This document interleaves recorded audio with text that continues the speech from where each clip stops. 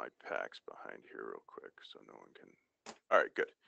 So uh, this is a case that we had uh, just yesterday.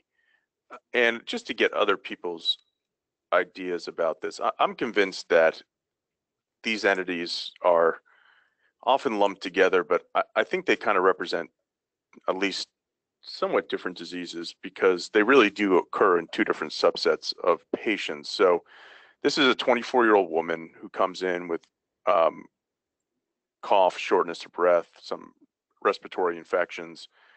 And, you know, and I've shown cases like this before where you have a very predominantly central bronchiectasis uh, relative in the areas where out where there's not superimposed infection uh, like here in the right upper lobe and right middle lobe.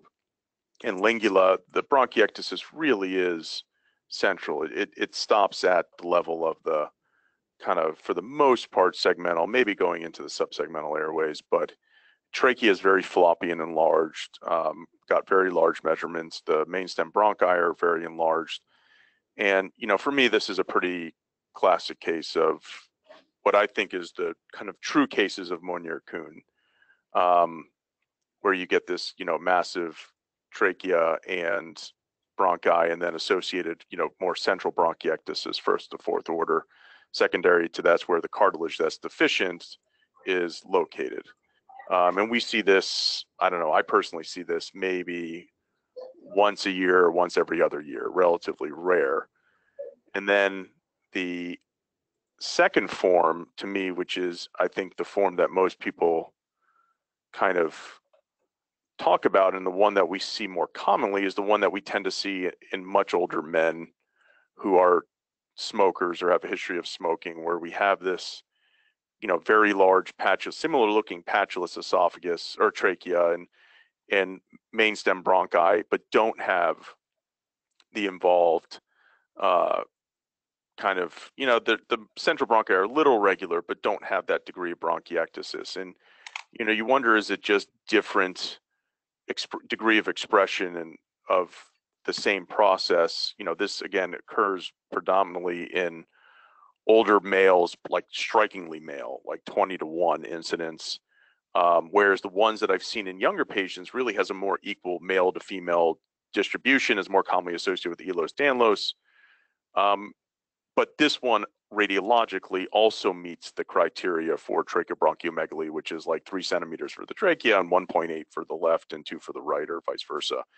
Uh, what do people think about that? Do they think it's the same disease process, just with different amount of penetration, or do you think that the because no one does no one does biopsy on these, no one actually confirms that there's some elastic uh, elastin deficiency leading to this.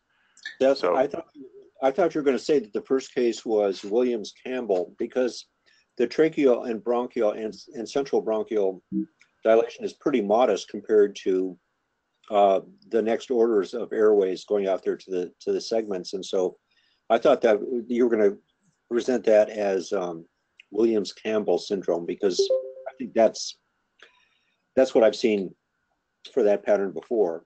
Well, so for Williams Campbell, I mean, this woman's trachea here was like 3.6 centimeters. Oh, that's true. And, yeah, it's really and big. she's and she and her mainstem bronchi are, I mean, we measured them. They were about 2.6 centimeters in some areas. I mean, here you can see quite large, and uh-huh. that that's usually conspicuously spared in Williams Campbell. And the bronchiectasis is, you know, usually most severe at the segmental and subsegmental level in Williams Campbell, which is involved to some degree here, but you know, Williams Campbell, in my mind, shouldn't really have a very large patulous trachea because that those fibers aren't deficient. So, uh, so Seth, the way I think about this is the tracheobronchomegaly is sort of the end point of multiple pathways, whether it's due to recurrent infection and injury and remodeling versus deficient fibers of elastin or muscle or deficient cartilage. And, you know, you probably see that different appearance in different populations based on you know age and a lot of these men have COPD so there may be yes they're, exactly. They all have mechanics in the lung yes. that it's sort of just a plumbing problem and wherever your weak points are as things get abnormal. But you know the second case you showed had those striking like accordion appearance. Um, you have it here too but the other ones had the diverticula. Yes exactly. elevated pressures and you know even williams campbell you kind of wonder there's a spectrum of that too because the literature describes the majority of cases presenting in children yet we see we've shown on this webinar many cases that, uh, that would at least meet the description in adults as new diagnoses. You know, they had symptoms for years, but not since childhood, or may have been, you know, sort of progressive. And you wonder if it's just variability of, you know, how long it takes that injury to present itself. Right. Um, and I agree with you. I think the ones we see with the diverticula and the accordion appearance, like in the older smokers, I, I think it's relation to longstanding COPD um, and just distal obstruction causing those outpouchings in know, cases like this, you know, I don't know. I I think Williams Campbell would have definitely been on the differential for me. If and I, the answer is I don't know. You know, these all wind up being imaging diagnoses. Um, you know, she doesn't have a history of recurrent infections in childhood. She just kind of came to presentation a few months ago um, and has no real other imaging. And to me, I've always been trained that if the trachea and bronchi are really the central ones are really enlarged, like in this case, that it's you're going on the Mounier-Kuhn spectrum. Whereas if the you know central airways are more normal, and then you get into this this you know I think you get into a heterogeneous mix when you get into this area out here because that could be either. Um, I, but that's just how I look at it. I'm not saying I and we just don't get path on these. Like no one looks at these to look for the elastic fiber deficiencies. And they um, don't do genetics on them either. So, you know, when I reviewed the literature on this stuff for both Mounier-Kuhn and and for Williams Campbell, uh, if you look at the cases with these names on them, they are so heterogeneous and there are so many uh, with different appearances. I, I think you should just say this person has bronchiectasis and it's central or you know it involves out to this level and stuff like that, and then not try to to nail things uh, beyond that. It's just too squishy. Yeah, I agree. It, a lot of it. I mean, there's cases that are clearly one or the you know the other, and then there's this this whole spectrum that are just overlap. Um, but I, I, thought that was interesting because we got both of those cases within a very like a week of one another, the one versus the other. Uh, and they're going to test her for Ehlers Danlos, you know, to see if that's because that's obviously uh, associated with the Mounier-Kuhn or supposedly associated with it. So that was the first case. This is another interesting case that doesn't really have, we have a pathologic diagnosis, but not really a diagnosis. So here's a guy with a not a great chest x-ray. I'm sorry about that. Maybe if I blow it up.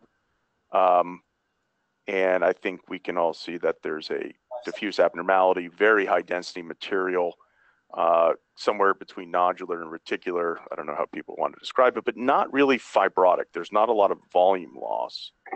Here he is uh, about six years later, and very similar pattern. Uh, he's complaining of worsening shortness of breath, although he's had shortness of breath for a long time. And then this is his most recent CT.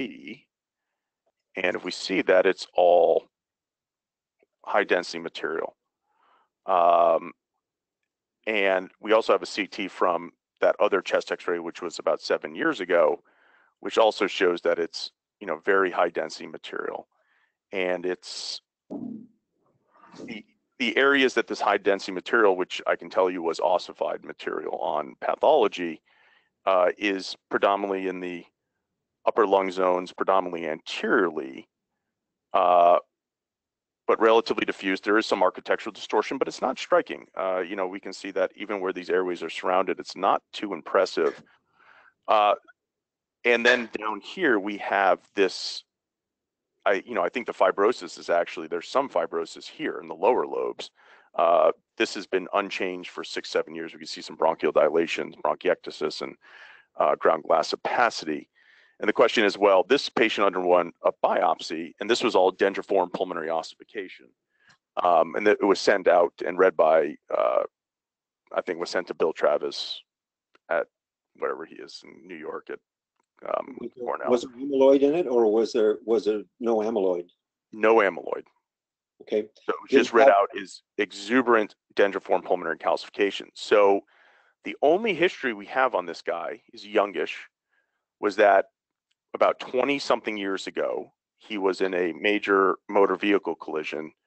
Um, had not much chest damage, but had a big, uh, le- you know, had intracerebral hemorrhage and was in the eye. He was in a coma for a month, and we don't know. He was trached um, and potentially had some sort of lung injury when he was trached and all this stuff going on.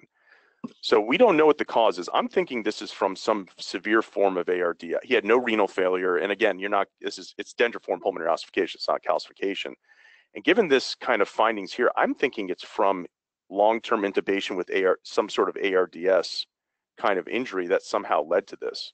But I don't know. It's complete speculation. Um, I just never seen this amount without, you know, no real classic fibrosis. It's interesting. know- that The distribution is in the non-dependent lung, which with your, I think your theory of an acute lung injury makes sense because that would have been Right. that was probably best recruited and maybe Yes. over. And you said it was 20 years ago. They probably didn't do the uh, sort of the low tidal volumes and stuff. They Exactly. Exactly. And that's and that's what we were thinking. And that's what I was thinking. And I, I right. And no idea. I just I don't know if anyone's seen any I was looking in the literature and couldn't find much on this. I don't know if anyone So, Um, Seth, do you think he might have had an acute kin- kidney injury at the time that he was traumatized and? so his- he could have, but I always thought, you know, of the renal failure and the acute is still calcification and not ossification. But I don't know. I, I don't know. Um, the- The thing is that there, those fibroblasts can go on and become osteoblasts, you know, when they're recruited for any reason, including idiopathic pulmonary fibrosis. And I've seen it in people who've, uh, even who've, who've aspirated. So you can, you can get ossification if you have a situation that leads to scarring and right. And fibrosis. and I've seen it in aspiration and um and I I thought about renal failure uh and you know Mhm. now he doesn't and there's no history we have no records except that he was trached for a long time and had was you know had major injury was in a coma and had major brain injuries and which he's better now but uh but I that was another thought um I just and the other cute little finding just totally unrelated is that he has a circumflex aortic arch so Mhm. anyways, uh, I thought that was just, I had just not seen that before. Um, and then this is quick. Oh, that's the one we already showed. And the last one, I thought this was just cute because I've never seen this before. This is a guy with an outflow tract VSD, which I haven't seen many of right here. It's covered up by a sinus of valsalva aneurysm. But what was interesting to me here was the two kind of pulmonary arteries. You have one that goes, and I'm sure someone here has shown something similar. I just haven't seen it. One going anterior in its normal location, and then one going posterior. And it's not a sling because it stays anterior to the esophagus.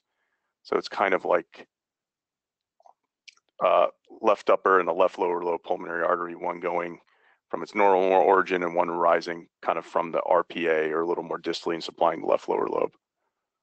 Oh, I've never seen that. Yeah, I, th- I thought that was interesting. And then for yeah, for kicks, the little sinus of valsalva aneurysm covering up the outflow VSD. But anyways, I've taken enough time. Those are those are my cases. Thank you, Seth. All right. Uh, Howard or David? I can go anytime if you like. All right.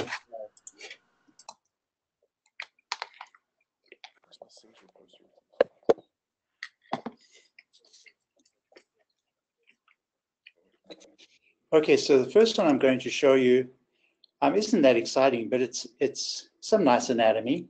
So let me just uh, blow that up for you. And first off, just give you a look at this without any history at all.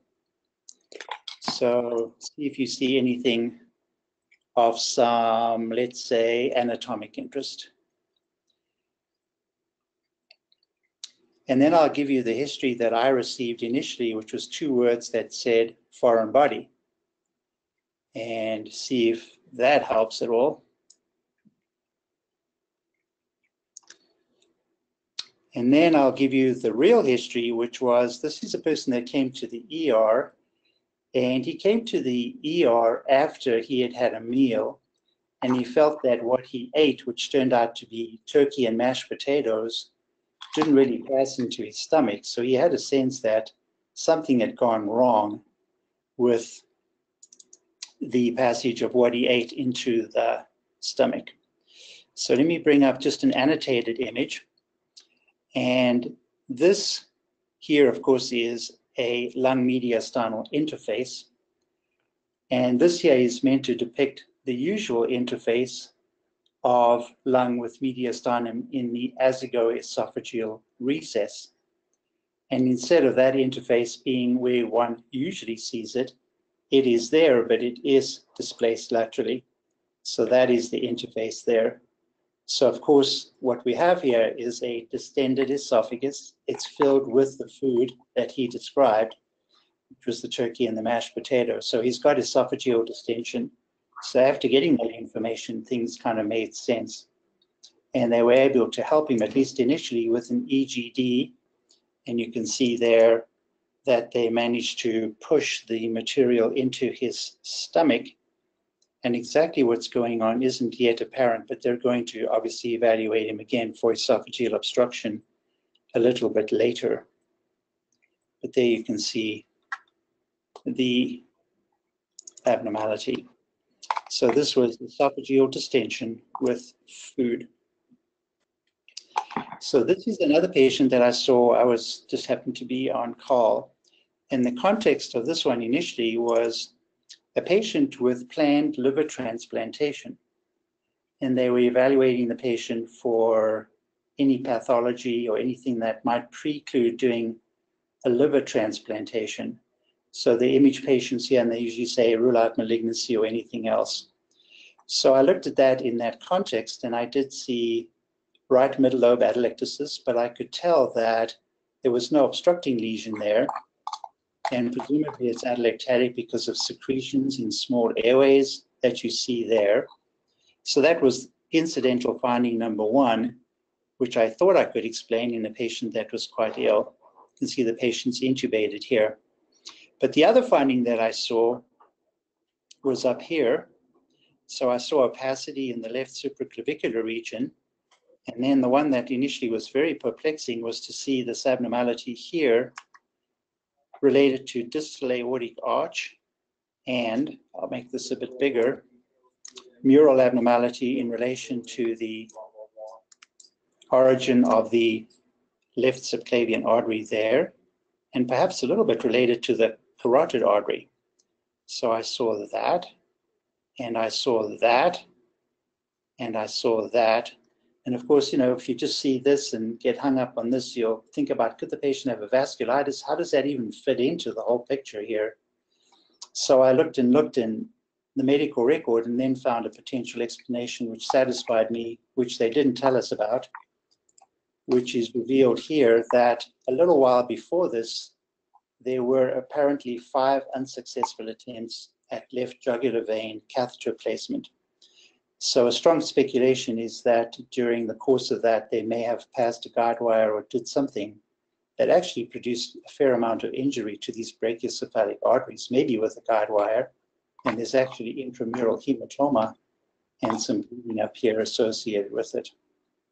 So I think that's a satisfactory explanation. So the importance of getting HG when you can get it obviously helps for cases like this. Has anyone ever seen uh, anything quite like this where there's a fair amount of pathology in the wall of arteries like that? Hmm. Nah. I speculate that they, they got into the artery or guide wire got in there or something like that. You think it's just tracking back up along the branch vessels? Because I agree, I think the carotid's abnormal too. Yeah. So I think that there was some bleeding there. So what was the, what was the follow-up? Did they, um, There was no follow-up in terms of any further evaluation of this. I presume that once they saw my report, presumably they were satisfied and I, I didn't feel comfortable pushing them anymore about what that was all about exactly. But do other you than think Finding that, there's a danger that the person will get a pseudoaneurysm or? um, don't after- know. Did they follow up and see if the mediastinum, you know, cleans itself up? Nope, they went ahead with the transplantation. That I do know. So I guess they weren't terribly alarmed by that. I mean, what do you guys think? Do you think there's, um, there's a risk of arterial injury here and, and that something's not going to resolve? Or is Well- everybody happy? to- I think they would. I mean, I think don't I they follow treat these with like um, aspirin or something? I don't know, but uh, not sure you would want to give that to a recent transplant. Yep, I don't know. Okay, let me show you. This is a really interesting case. We've seen this before, but it's um, a lovely example of this phenomenon. Make sure I'm showing the right one. Okay. So the presenting chest radiograph looks like this. And we clearly have diffuse interstitial edema, but it's right greater than left. Let me show you the CT that was done subsequently, and I think that this was a CTPA for pulmonary embolism. And you'll see that we have diffuse interstitial edema and pleural fluid. And what was also described down here were nodules.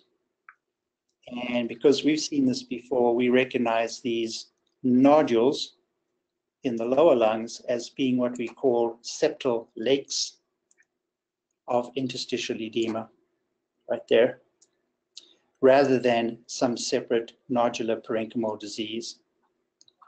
And we see the pleural fluid. So once seeing that, I was pretty confident when we were consulted that these nodules are pseudoparenchymal nodules, but they're septal lakes of interstitial edema. And then the question is, why does this person have pretty florid interstitial lung edema. So initially he had a cardiac ultrasound that showed mitral valve prolapse and maybe some mild regurg. But because of the dramatic findings, he then went on to have a transesophageal echo procedure. And I'll bring that report up alongside, as you can see there. And that really clarified that there is substantial abnormality involving the mitral valve with mitral regurgitation and you can read that description. And here is a TEE that goes along with that. So here's some images from the TEE that will show us that bulging leaflet that you can see there, pretty dramatic. So we have a nice example of asymmetric lung edema from substantial mitral valve regurgitation. So this fits very nicely and all makes sense. And of course, it's pretty bad, so you'll undoubtedly have to have that mitral valve attended to. That's nice. But a, a nice case, isn't that? Yeah, that's very nice. Okay. And the last one I have, I'm trying to remember. Okay, here's this case. So this is a presumptive diagnosis, but based on the histories, you'll see a pretty strong presumptive diagnosis. So the chest radiograph in this patient with, I think, cough and, and dyspnea, but not an acute respiratory illness, looks like this. So clearly abnormal, a little bit hard to describe. Um, there are bilateral subsegmental sized opacities. And I will now show you, I'll bring up the coronal CT that goes along with this that nicely depicts, if I can get that to not do that, what this chest radiograph looks like or why it looks that way. So here is the CT. And I hope you all agree that the dominant finding is mosaic attenuation. And the amount of actual opacity in the lungs is relatively modest. And I don't think that I have an expiratory CT here, but that is the dominant finding. I'll bring up the thin cuts here and show you that. This is what it looks like. So there's some mild reticulation, but otherwise mosaic attenuation, GGO, but a very dramatic mosaic attenuation with additional opacities in the lungs, whether you call them ground glass, but not discrete centrilobular nodules, more confluent geographic ground glass mosaic attenuation pattern. And the presumptive diagnosis is here is HP, and it turns out that he has a bird at home, a cockatiel for at least seven years. So based on that, we've made a diagnosis of HP. And I think I'm satisfied with that diagnosis. I think the appearance is pretty dramatic, but certainly this CT pattern may occur with HP. Um, pretty dramatic. I don't have any expiratory images to show you though. Everyone else confident or at least comfortable also with a presumptive diagnosis strong of hypersensitivity pneumonitis for this pattern? Absolutely. And I think the lack of thank you. pulmonary vascular abnormality makes you not even really need the expiratory images. Yeah. Very good. Those are my cases. All right. Thank you, Howard. Those were very nice. Uh, David, do you have cases this week? Not this week, sorry. No. All right. I've got a few.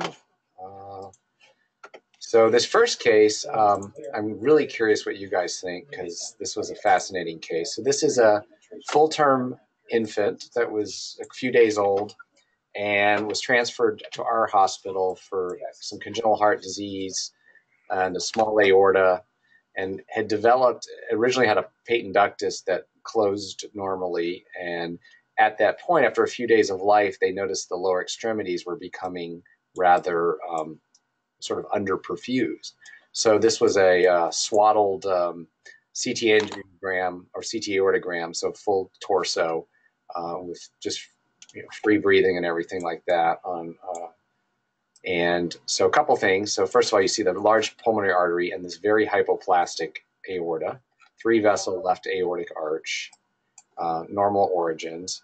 There is a, um, a high muscular VSD that's small. There's also a large secundum ASD, and these were all confirmed on echo as well. And you can see the right heart is enlarged. I should probably show the radiograph first. Um, you can see the sort of what looks like shunt vascularity. Um, you don't really see much of an aorta on this one as well, um, umbilical catheter, but it was a term infant. Uh, lungs were fine from morphology standpoint, but what was striking is if we follow the aorta down, there's a little irregularity here, um, and we'll come look at that. But the initially the blood pressure there was no gradient between the upper and lower extremities, so you know it looks like maybe a coarced or coarct-like portion along with the hypoplasia. But as we go down, you'll notice the the at the bifurcation, the iliac arteries are extremely hypoplastic, very very small. It goes all the way out. No irregularities of the lumen, just very hypoplastic iliac arteries. And then another interesting finding is if you look at the extremity, upper extremity, we've got a um, large right subclavian artery, break uh, axillary artery, but then when you get out to the arm, it gets very small very quickly, and it, you know it's it's hard in little kids, but you wonder if that's a little hypoplastic too. Here's a 3D volume rendered image. Whoops, I just got one. There we go. You can see just how diffusely hypoplastic the iliacs are and the, um, the arch, which is hiding there. So um, interestingly, let's see if I can find the right one. There, they found, uh, my colleagues who reported this found one case report of this. Um, a rare cause of absence femoral pulse bilateral common iliac artery hypoplasia. This is 2014 from a, a Japanese pediatric journal. And they, you can see they show the normal looking abdominal aorta, but these tiny little iliacs. And no one really knows the cause. One, one potential thing that was discussed in our reading room was congenital rubella syndrome, which can cause congenital heart disease, aortic hypoplasia. But when I was going through the uh, record, there's no nothing else that goes along with that and no, no risk factors for that, but that is another possibility. So I think the hypoplastic arch can be explained by the underlying congenital heart disease, but it doesn't explain the iliacs. I don't know if anyone's ever seen it. It sounds like it's pretty rare. Wow. Hmm. You know, there's that mid aortic um, abdominal narrowing in that goes with neurofibromatosis, but that Yeah. that's not close to what you're seeing Yeah. here. And I can't think of a good explanation for it because you know there's a decent sized descending aorta.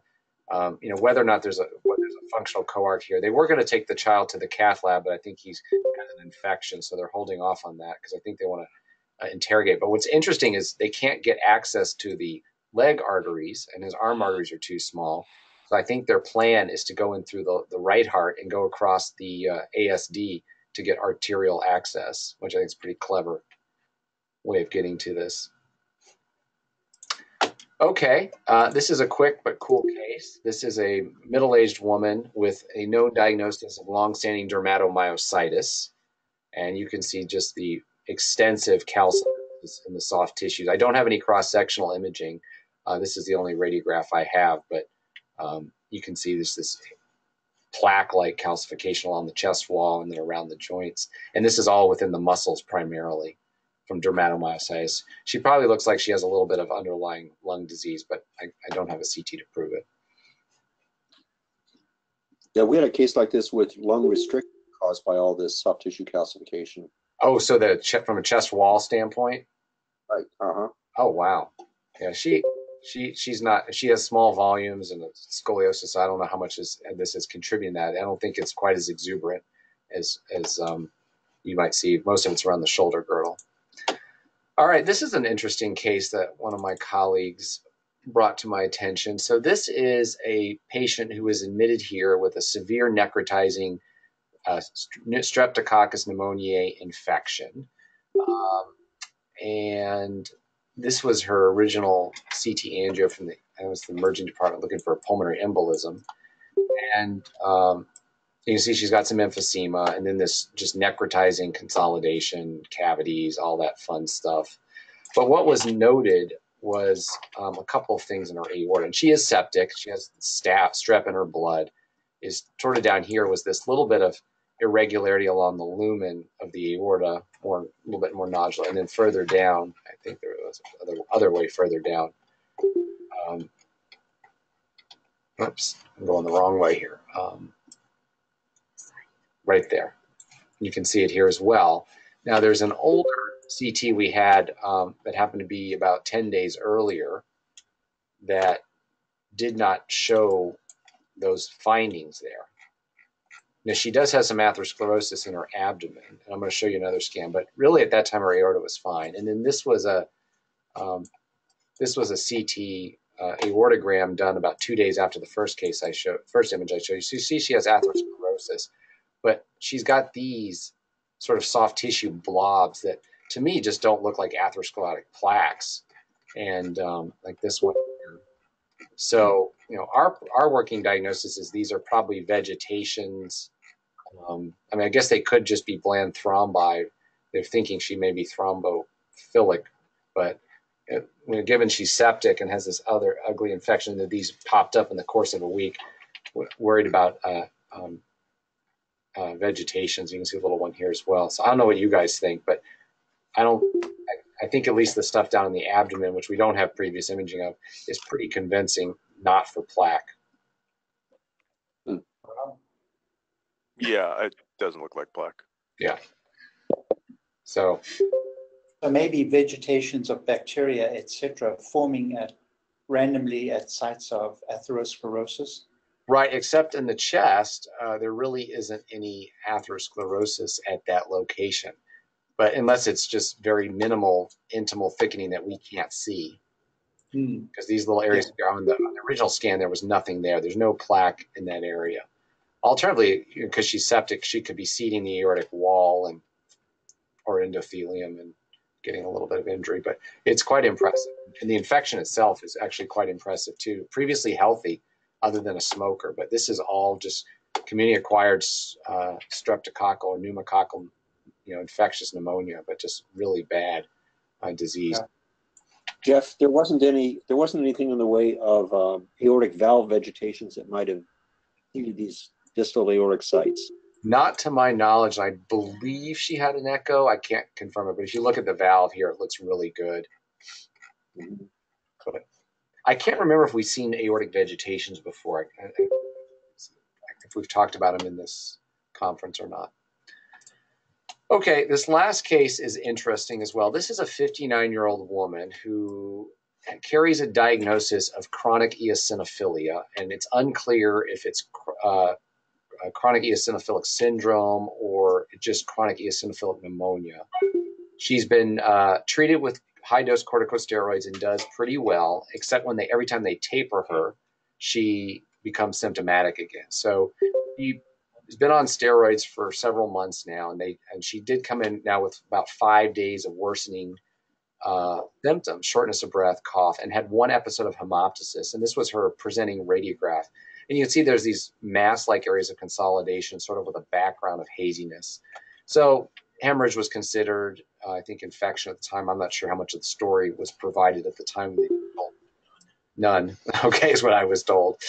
Uh, so yeah, so you know, someone with hemoptysis and a CT like this, I think hem- hemorrhage is a very reasonable consideration. Maybe you know, there's no effusion to suggest this was all cardiac edema or anything like that.